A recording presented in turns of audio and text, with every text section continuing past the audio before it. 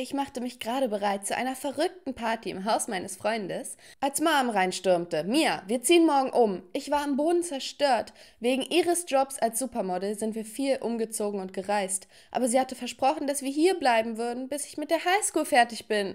Verabschiede dich heute von allen. Wir fahren morgen früh in meine Heimat. Als ich das hörte, wurde ich fast ohnmächtig.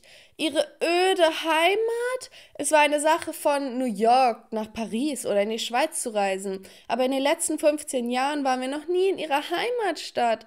Hi, ich bin Mia und ich habe das perfekte Leben. Eine berühmte Supermodel-Mama, endlose Reisen, verrückte Shoppingtouren und 400 Paar Schuhe. Aber dann, eines Tages, beschloss meine Mutter, zurück in die Heimatstadt zu ziehen. Und da fand ich heraus, dass ich drei Väter habe.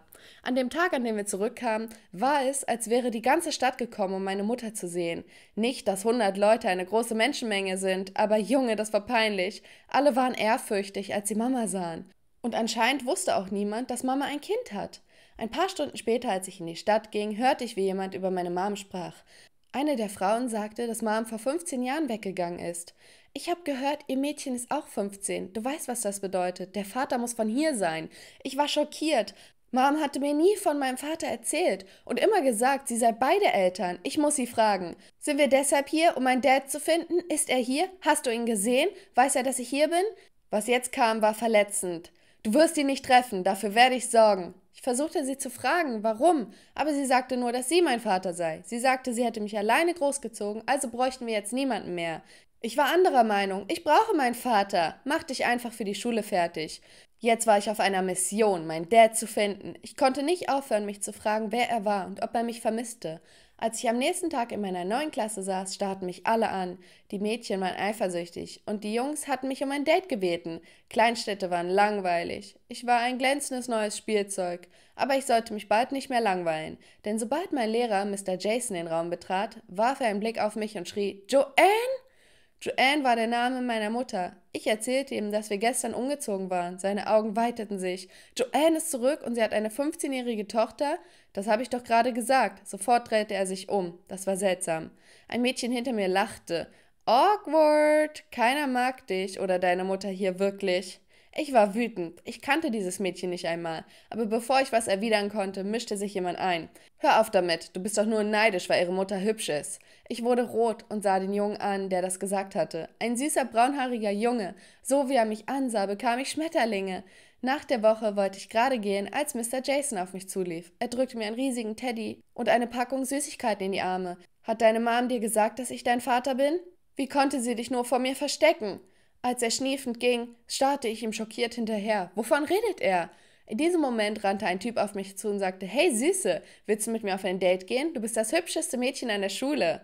Ein anderer Typ schubste ihn zur Seite. Träum weiter, Loser. Sie geht zuerst auf ein Date mit mir. Plötzlich kam der Junge aus der Klasse zu mir rüber und sagte: Hört auf, Jungs. Ihr verwirrt sie, okay? Und er schickte sie weg. Danke. Hast du vielleicht Lust, mit mir abzuhängen? Wir können uns einen Film ansehen. Mein Herz flatterte. Klar doch. Wir waren gerade bis zu seiner Tür gegangen, als sein Nachbar, der gerade den Rasen mähte, schrie: Joanne? Er sah aus, als hätte er einen Geist gesehen. Joanne? Okay, das war nervig. Sah ich alt genug aus, um in den 30ern zu sein? Aaron sagte diesem Typen Tom, dass ich Joannes Tochter sei. Zu meinem Schock rannte er rüber, um mich zu umarmen.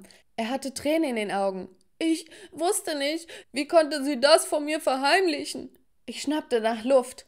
Warst du Mams bester Freund? Könntest du mir helfen, meinen Dad zu finden? Dein Vater. Wenn du 15 bist, bin ich sicher, dass ich dein Vater bin. Sie hat es dir nicht mal gesagt. Ich will mit ihr reden, sofort. Tom rannte sofort in sein Haus zurück und ließ uns beide allein. Dann sagte Aaron, wow, das war seltsam. Sie müssen gute Freunde gewesen sein. Ja, sieht so aus. Willst du jetzt mit mir ein Eis essen gehen? Ich hatte kaum zugehört. Sowohl Mr. Jason als auch Tom hatten sich so seltsam und emotional verhalten, als sie mich gesehen hatten. Sie dachten beide, ich sei ihre Tochter. Zu Hause angekommen war ich nicht überrascht, dass Mom besucht hatte. Ich hörte Geschrei und rannte rein, um Tom und Mr. Jason zu sehen. Meine Mutter versuchte sie auseinanderzubringen, aber sie hörten nicht auf. Was um alles in der Welt ist hier los, hä? Sofort stürzten sich die Männer auf mich, und das ist kein Witz. Beide weinten. Und Tom fing an zu schreien: Meine Tochter! Mr. Jason sprang dazwischen. Was soll das heißen, deine Tochter? Sie ist meine Tochter. Ich war schockiert und schaute zu Mom. Was willst du sagen, was hier los ist, hä? Dann sagte Mr. Jason, bevor deine Mom die Stadt verlassen hatte, waren wir beide zusammen, also bist du eindeutig meine Tochter. Doch dann schaltete sich Tom ein. Nachdem dieser Trottel sie betrogen und ihr das Herz gebrochen hatte, ging sie einen Monat lang heimlich mit mir aus. Wir waren beste Freunde. Und dann hat sie Angst bekommen und ist weggelaufen. Ich war verblüfft, während Mom faul gähnte und sagte, dass sogar Tom sie betrogen hatte. Da beide Männer ihr das Herz gebrochen haben, würden sie ihnen niemals sagen, wessen Tochter ich war. Tom sah verletzt aus und begann sofort um Vergebung zu betteln. Mom, ich muss wissen, wer mein Vater ist. Ich bin der einzige Vater, den du je hattest, Mia. Akzeptiere es einfach. Ich bin hergekommen, um diesen Losern zu zeigen, dass ich niemanden brauche, um groß rauszukommen. Und was ist mit mir? Ich will es wissen.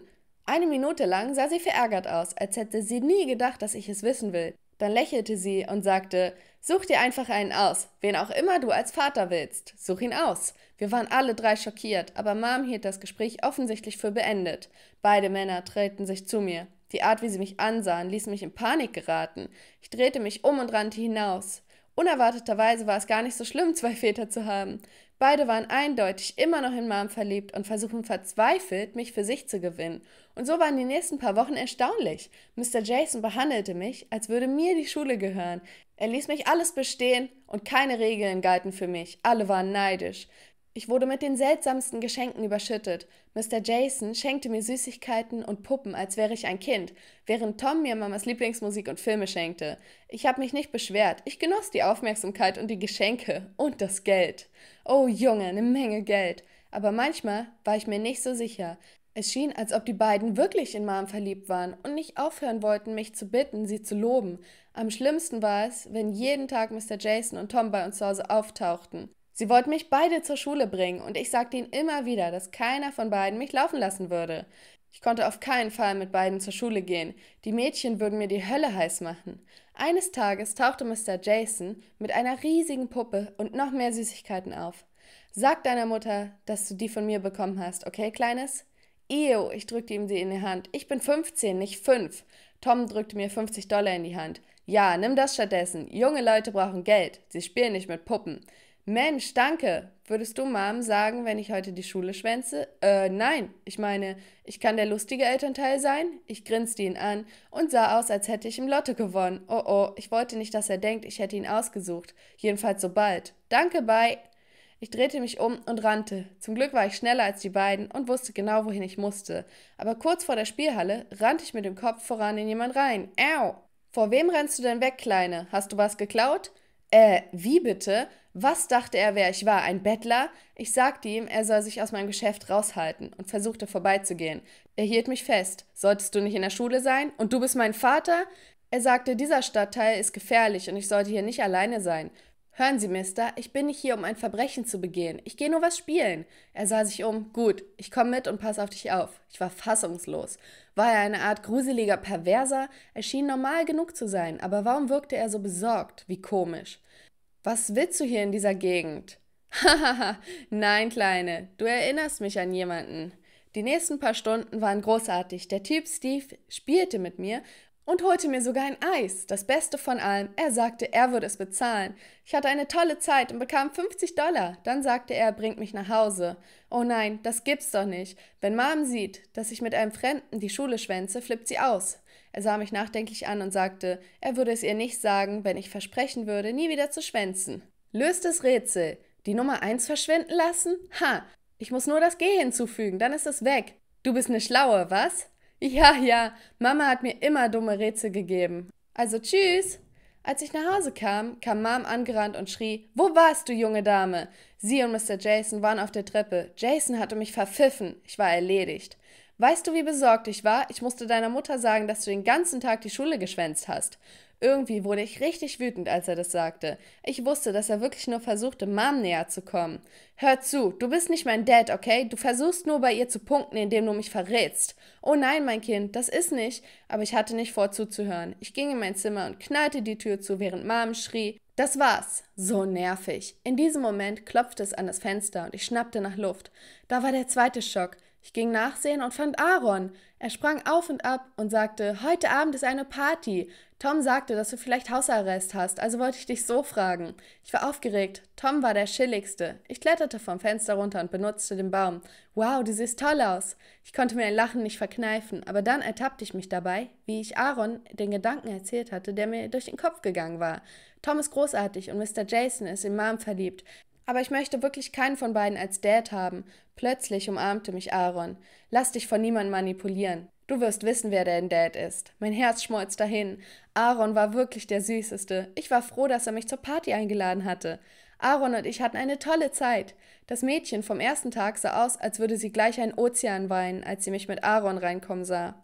Wir hatten noch nicht lange getanzt, da flog die Tür auf und Mom stürmte rein. Oh nein. Mia, wo bist du, Mia? Ich versuchte mich unter dem Tisch zu ducken, aber Tom entdeckte mich und machte alles kaputt.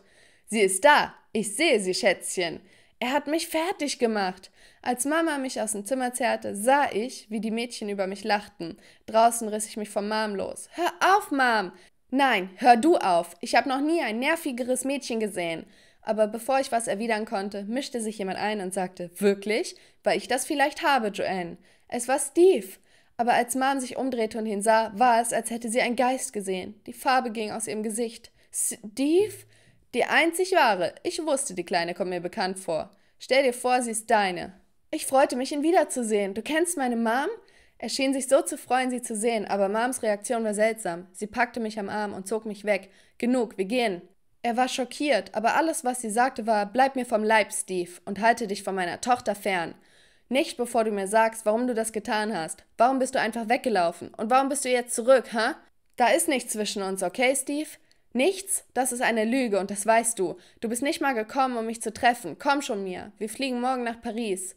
Was? Nein, ich fahre nirgendwo hin. Steve sprang vor Mom auf und sagte, du gehst nirgendwo hin und sagst mir, warum du einfach verschwunden bist. Ich hatte einen schrecklichen Unfall und war zwei Tage lang bewusstlos. Und als ich aufgewacht bin, konnte ich dich nirgendwo finden. Du hast sogar deine Nummer geändert. Meine Mom schrie, lüg nicht, du hast mich versetzt, genau wie die beiden anderen. Ich wollte dir an dem Abend einen Antrag machen. Mom begann zu zittern und in dem Moment holte Steve eine Kette hervor, die er trug. Daran war ein Ring. Du was? Natürlich, wir waren verliebt. Du sagtest, du hättest tolle Neuigkeiten für mich. Was war es? Mama konnte es kaum aufsprechen. Die Neuigkeit war, sie sah mich an und dann ihn. Und einen Moment lang dachte ich, sie macht Witze. Steve war mein Vater.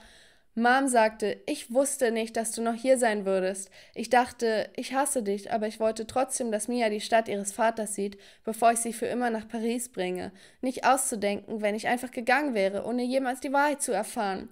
Steve umarmte Mom und wischte ihr die Tränen weg. Komm her, Kleine, gib deinem alten Herrn eine Umarmung. Als ich zu ihm rannte, um ihn zu umarmen, wurde mir klar, dass ich in meinem Herzen immer gewusst hatte, dass er es war Plötzlich kam Tom zu uns und sagte, ich bin immer noch dein bester Freund, umarmt mich auch, Leute.